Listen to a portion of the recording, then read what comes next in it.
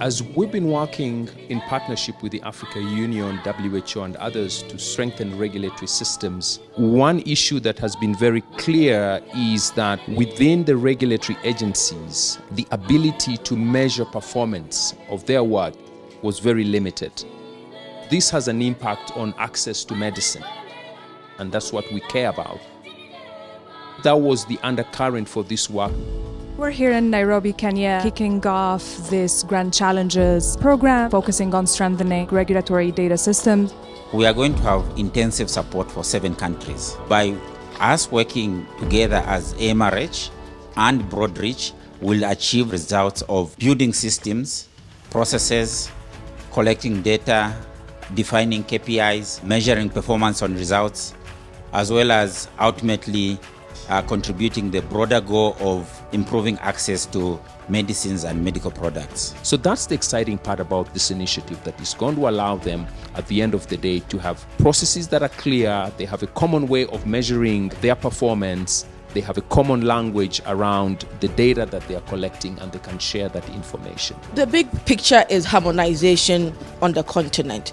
These are beginning steps that we are taking. But the lessons learned here is going to be beneficial to also ensure that at the end we have a good system of measuring the performance. We are doing what we are supposed to do, ensuring that the patients in the country have the medicines at the right time, which are safe and efficacious. The concept of harmonization, you start small in a particular region and then you expand. So this is essentially, we are seven here who are starting small, we expand and we are excited very, very grateful to Bill and Melinda Gates Foundations for granting us this grant that will strengthen our system, but will also be supporting our neighbors in the region. So this is a very, very challenging exercise for us, but something which is achievable.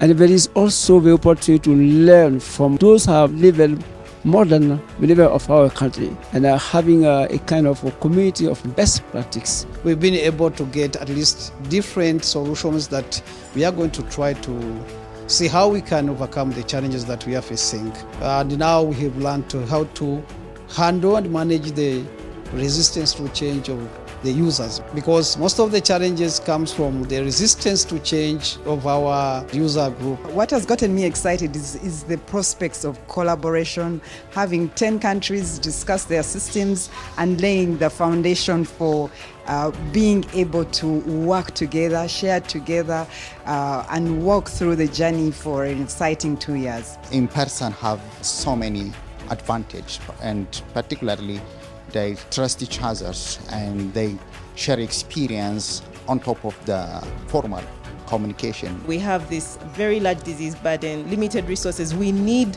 really to be so innovative to come up with a solution that is going to help us be more effective and provide access to efficacious and safe products for our population. The whole point of the conference was about data and systems and standards.